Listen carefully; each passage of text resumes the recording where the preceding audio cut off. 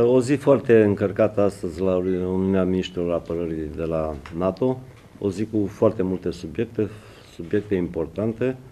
uh, și subiecte din uh, diferite domenii de activitate. Primul subiect, așa cum deja îl cunoașteți, a fost uh, cel care se referă la planificarea nucleară și la măsurile pe care NATO și statele membre NATO trebuie să le ia pentru descurajarea nucleară și ce trebuie să aibă în vedere la uh, realizarea documentelor NATO cu privire la descurajarea nucleară și echilibrarea de forțe vis-a-vis -vis de, de, uh, de postura nucleară a Rusiei. Acest subiect uh, și-au adus contribuții însemnate Statele Unite, Marea Britanie, cei care de altfel sunt și deținători de, de capabilități nucleare. Uh, un al doilea subiect s-a referit la situația din Siria și la situația din Afganistan. Am precizat încă o dată la celelalte teme de pe ordinea de zi. Am avut intervenții România la toate aceste teme. La subiectul care se referă la Siria și la Afganistan, de asemenea, am avut intervenții. Am precizat uh, poziția României cu privire la situația din Siria și efortul pe care statele și comunitatea internațională fac pentru stabilizarea situației din din Siria și a situației de criză de acolo. Pe subiectul Afganistan, așa după cum știți, în ultima vreme, datorită reactivării talibanilor și a statului islamic, situația de securitate este una mai deosebită, de aceea încă nu s-a luat o măsură cum va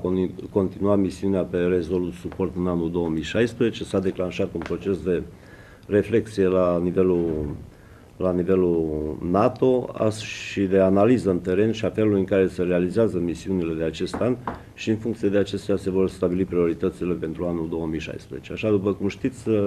România anul acesta este prezentă pe misiunea Resolute Support cu uh, aproape 650 de militari, din care 200 sunt ofițeri care se ocupă de, de pregătirea și instruirea armatei afgane, iar uh, Uh, aproximativ 420 de militari participă la asigurarea protecției forței pe aeroportul Kandahar. Uh, de fiecare dată, chiar și la discuția care am avut cu câteva minute cu generalul Bridrov, am primit aprecieri deosebite la adresa militarilor români și a felului în care, a felului în care își îndeplinesc uh, misiunea pe care ne-am asumat-o în, în Afganistan pe, în anul 2015. O altă secțiune s-a referit la Uh, felul în care s-au dus la îndeplinire obiectivele stabilite la summitul din țara Galilor și mai ales a planului de reasigurare pe flancul estic. Am avut și aici o intervenție în care am subliniat că România și-a făcut temele, am respectat toate termenele convenite cu,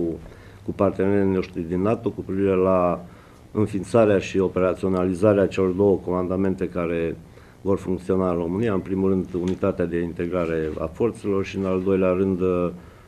Divizia Multinațională Sud-Est. De asemenea, am subliniat, am subliniat uh, în realizarea acestui obiectiv care se referă la uh, sporirea sau creșterea numărului de exerciții de pregătire în comun cu militarii din NATO și așa cum ați văzut în acest an am organizat foarte multe exerciții cu toate categoriile de forțe și cu forțele aeriene și cu forțele terestre și cu forțele navale. Exercițiile continuă până la sfârșitul anului și în același timp foarte mulți militari români au participat la exerciții în alte state NATO și la acele exerciții de amploare care au fost organizate de către NATO în această vară și urmează să mai organizeze și în perioada uh, care urmează. De asemenea, am abordat aici subiecte privind uh, creșterea graduală a răspunsului NATO la noile amenințări, și sigur că am abordat, am abordat și subiecte cu privire la amenințările hibride și la alte uh, probleme care privesc uh, NATO. Fel, săptămâna aceasta începe un exercițiu de pregătire în comun cu uh, forțele aeriene din, uh, din statul Alabama, care sunt prezente la Câmpia Turzii cu o escadrilă de avioane F-16 și cu uh, aproximativ 250 de militari, exerciții care se vor uh, Uh, organizat pe parcursul întregii luni uh, octombrie. Continuăm cu exerciții de pregătire în comun tot cu militarii din Statele Unite. Uh, cred că începând din săptămâna 26 octombrie în zona Arad uh, și de asemenea cu exerciții de pregătire în comun cu militarii de la toate categoriile de forțe în poligonul Media, tot în acea perioadă 26-27 octombrie. Am abordat și subiecte privind apărarea cibernetică și capacitatea de răspuns NATO la incidente cibernetice, protecție, protecția centralizată a uh, unităților de integrare a forțelor, dar și uh, participarea României la forțele de reacție rapidă, așa cum uh, am stabilit ca această capacitate operațională a forțelor de reacție rapidă să se, să se atingă gradual. Uh, ultima întâlnire, cea la care am participat, uh, a fost una dedicată măsurilor de adaptare NATO pe termen lung. Așa, după cum știți, uh, lumea este în continuă schimbare și din punct de vedere economic, și din punct de vedere social, dar și din punct de vedere militar. Și de aceea procesul acesta de adaptare NATO trebuie să fie unul complex care să se refere la mai multe domenii, și la domeniul militar, și la domeniul instituțional, și la domeniul politic și procesul de reflexie care a fost uh, declanșat la nivelul NATO și care este în curs de desfășurare, tocmai menirea de a stabili acele obiective de adaptare a NATO pe termen lung, uh, care să fie prezentate la summitul NATO de la Varșovia. Noi avem uh, o, o, nu știu dacă dorință, o necesitate pe care am ridicat-o a ridicat-o și președintele României și ministrul de externe și premierul și eu, mai ales atunci când uh, secretarul general a fost în vizită în România, ca în procesul acesta și în procesul de reflexie pentru adaptarea obiectivelor NATO și adaptarea NATO la noile cerințe și uh, de securitate să fie inclusă și securitatea pe Marea Neagră, având în vedere că odată cu anexarea Crimeei și dislocarea de multă tehnică militară, fie că este vorba de tehnică navală, fie că este din cea, de tehnică din domeniul uh, forțelor aeriene, e necesar o astfel de reflexe și obiective foarte concrete vis-a-vis -vis de securitatea pe, pe Marea Neagră. Uh, am precizat și fapt, pentru că colegii au făcut multe propuneri vis-a-vis -vis de procesul de adaptare NATO, am precizat și faptul că nu trebuie neglijat uh, sistemul de apărare antirachetă al, al Europei și al NATO și aducând și argumentul că sper să știu acestui an uh, uh, baza de la DVSL va deveni operațională și că acest uh, concept privind apărarea apărarea antirachetă trebuie să continue, nu trebuie uitat și trebuie ca în, în obiectivele de adaptare a NATO să, să avem în vedere și, și acest proces. De aceea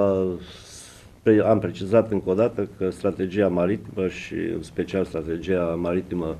pe Marea Neagră pentru noi este foarte importantă. Am precizat de asemenea faptul că capabilitățile de descurajare ale NATO nu trebuie să fie regionale, ci trebuie să privească uh, apărarea tuturor flancurilor, fie că este vorba de flancul estic al NATO, fie că este vorba de flancul sudic al NATO, că măsurile de, de reasigurare trebuie să fie foarte eficiente și să asigure securitatea tuturor țărilor europene și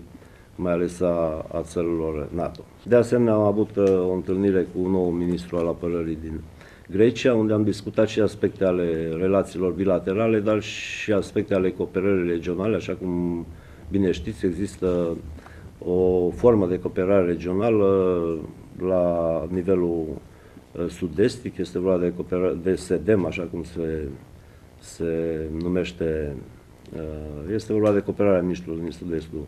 Europei, e un cadru instituționalizat unde de astăzi, uh, din această perioadă a devenit membru cu dreptul de plină și Georgia și faptul că uh, această cooperare noastră a devenit foarte eficientă și avem și structuri care să, structuri militare în acest sens, este vorba de, de, de divizia Sibric și și având în vedere că România a deținut în 2014 și 2015 președinția acestei structuri, domnul ministru a dorit să împărtășesc câteva din, din ideile și noile orientări care le-am stabilit cu privire la funcționarea acestei structuri și să continuăm cooperarea pe anumite domenii de activitate, mai ales în, ce, în domeniul învățământului naval, a cooperării în domeniul forțelor aeriene, dar și alte aspecte ale cooperării bilaterale. Și sigur că am avut o întâlnire cu generalul Bridlov, Sarchiorul, Sachiorul pe probleme ale cooperării României cu NATO și mai ales pe măsurile de reasigurare pe,